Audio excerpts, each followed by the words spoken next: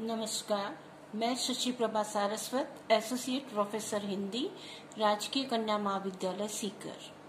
प्रिय विद्यार्थियों, आज का पुनः इस वीडियो में आपका स्वागत है।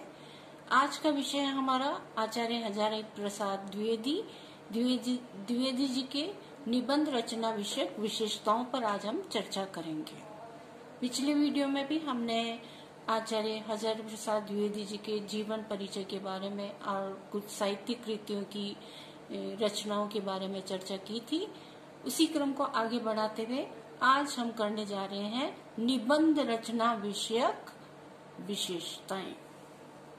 आचार्य हजारी प्रसाद द्विवेदी हिंदी निबंध विधा के मूर्धन्य रचनाकार माने जाते हैं। इन्होंने विविध विषयों पर निबंध रचना की है। द्विवेदी जी के अधिकांश निबंध विचारात्मक निबंधों की श्रेणी में आते हैं। इनमें अद्यतन विचारधाराएँ किसी न किसी रूप में विद्यमान हैं। इन्होंने भारतीय संस्कृति के प्राचीन तथा अर्वाचीन सभी विषयों को अपने निबंधों में स्थान दिया है। द्विवेदी जी की निबंध रचना की प्रमुख विशेषताओं को हम इस प्रकार से करेंगे। पहली विशेषता है, द्विवेदी जी के सभी निबंध भारतीय सभ्यता और संस्कृति पर आधारित हैं। जीवन और जगत की गहन अनुभूतियों से परिपूर्ण भी है आपके निबंधों में प्राचीनता एवं नवीनता का अद्वितीय सामंजस्य देखने को मिलता है हजारी प्रसाद द्विवेदी जी की रचनाओं के अनुशीलन से स्पष्ट हो जाता है कि आपका प्रकृति निरीक्षण उच्च कोटि का होने के साथ प्रभावोत्पादक एवं भावोत्तेजक है। प्रकृति के विभिन्न रूपों, विशाल वृक्षों, नाना वर्ण के पुष्पों से युक्त वंश का सूक्ष्म विवेचन आपकी प्रकृति प्रेम का प्रतीक माना जाता है। द्विवेदी जी के निबंध चिंतन और मनन से परिपूर्ण होने के साथ साथ सूक्ष्म निरीक्षण, तीक्ष्ण दृष्टि, गहन अनुभूति, मौलिक विचारधारा, पांडित्यपूर्ण तथा असाधारण वैदुष्य संपन्न है। आपके निबंध मनोरंजक होने के साथ ही अत्यधिक लोकहित की भावना से ओतप्रोत माने जाते हैं। द्विवेदी जी के निबंधों में भारतीय संस्कृति का सजीव चित्रण देखने के साथ साथ राष्ट्रीयता के भावों की अजस्त्र धारा प्रवाहित हुई है। आपके निबंधों में विविध विषयों का संगम हुआ है। प्रमुख रूप से साहित्य, संस्कृति ज्योतिष, योग, दर्शन, कला, धर्म, विज्ञान, इतिहास, भूगोल, खगोल, नाना प्रकार की विषयों पर इनकी रचनाओं में वर्णन मिलता है।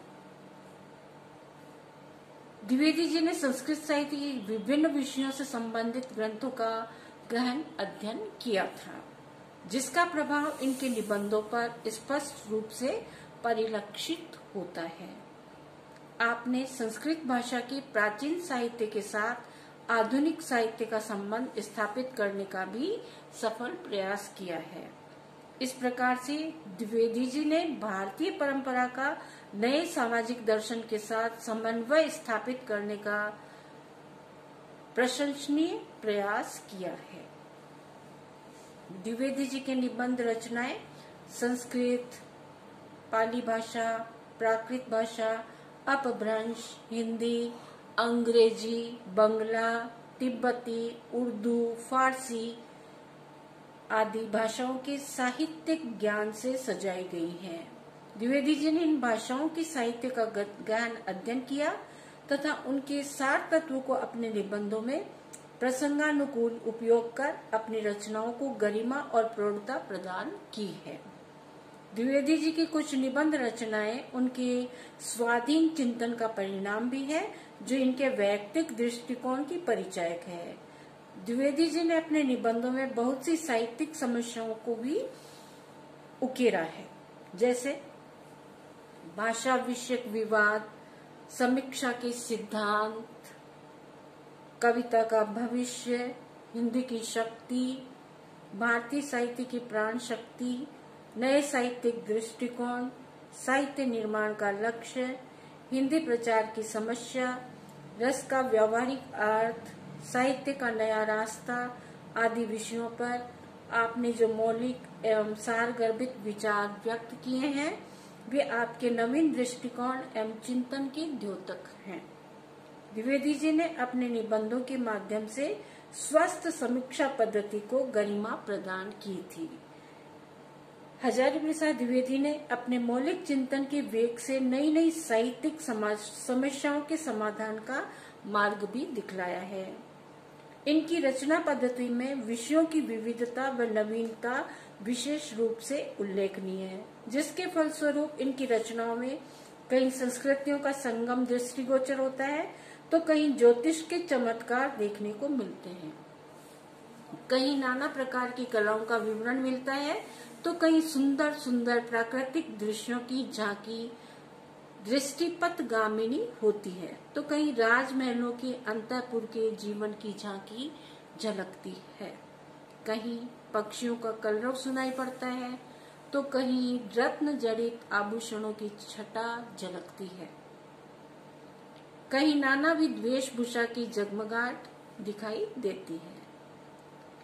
आपकी निबंध रचना में प्राय आगमन शैली को अत्यधिक महत्व प्रदान किया गया है, जिसमें प्रथम किसी विषय का विवेचन करते हैं, उसकी व्याख्या करते हैं और अंत में उसका निष्कर्ष प्रस्तुत करते हैं। द्विवेदी जी के निबंधों में यत्र तत्र विनोद व्यंग्य के अवसर भी प्राप्त हुए हैं, परंतु इनके व्यंग्य कटु और तीक्ष्ण न होते हुए भी मर्म स्पर्शी बन पड़े हैं। साथ ही वे हृदय पर चोट पहुँचाने की अपेक्षा स्थायी प्रभाव डालने वाले होते हैं। हजारी प्रसाद जी के चिंतन व मन स्थिति के अनुरूप ही आपकी रचना पद्धति भी परिवर्तनशील रहती है। इसीलिए आपकी रचनाओं में जहाँ एक और प्रौढ़ पांडित्य झलकता है तो दूसरी ओर सरलता, सुबोधता, सरसता का बोल बोलबाला दृष्टिगोचर होता है। कहीं तीव्रता एवं तीक्ष्णता देखने को मिलती है तो अन्यत्र अत्यंत स्वाभाविकता एवं कोमलता उल्लेखनीय जान पड़ती है। इसी प्रकार से भाषा संगठन में कहीं समास बहुलता दीर्घ वाक्यावली का भान प्रतीत होता है तो कहीं व्यास शैली प्रधान लघु वाक्यावली दृष्टिगोचर होती है। आचार्य हज़ार प्रसाद द्विवेदी हिंदी निबंध साहित्य के क्षेत्र में अपना विशिष्ट स्थान रखते हैं। वे सरस एवं सुबोध निबंध शैली के प्रतिष्ठापक हैं। बहुत बहुत धन्यवाद।